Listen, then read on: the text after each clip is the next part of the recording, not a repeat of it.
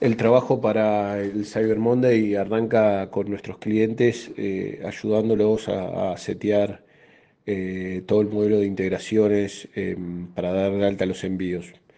Termina pasando que en el Cyber Monday nuestros clientes en algunos casos duplican o crecen significativamente en envíos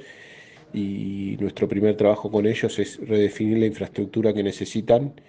eh, para que ese proceso fluya. Después, durante el evento y semanas previas, en, propiamente el equipo de TI, lo que tratamos de hacer es tocar lo menos posible los sistemas, no estar subiendo a producción desarrollos nuevos eh, y entramos en lo que llamamos freeze, que es por 15 días que dura el evento, eh, destinamos todos los recursos a el seguimiento de, la diaria y junto con eso la corrección de algún bug que pueda haber durante el evento.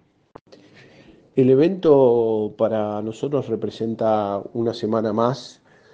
eh, de distribución. El desafío de eso es que se da eh, con la continuidad del negocio, ¿no? Entonces uno recibe alrededor de 800.000 o 900.000 envíos adicionales eh, y al mismo tiempo tiene que cumplir con los restos de los compromisos. Eh, los esfuerzos están dados en, tener más semirremolques, abasteciendo nuestras sucursales, en tener más gente distribuyendo y por supuesto en ser mucho más veloces en el procesamiento de la carga para que en promedio los envíos que entreguemos ninguno supere los dos días de distribución.